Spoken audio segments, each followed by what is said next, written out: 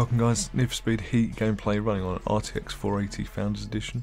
The game's running maxed out as you can see in the settings and I've got it VSync 60 frames.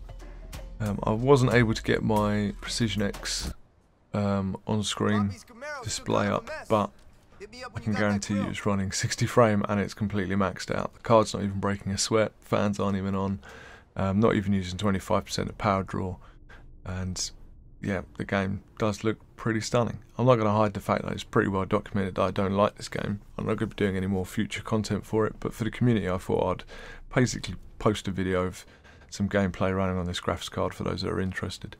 So I hope you'll enjoy the rest of this video. Don't forget to hit the like and subscribe if you do like this game and video content. And I'll catch you soon on the next one. There's a place on the coast. Scrappers down there do business trading rare parts. Now, I just know they got a grill for a 67 Camaro. Only trouble is, I can't get them to sell. Think you could go down there and plead my case? No problem. Thanks.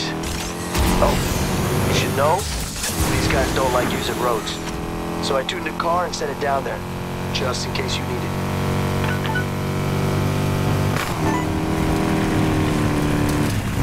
Raziel. Everything's set. See you at the docks.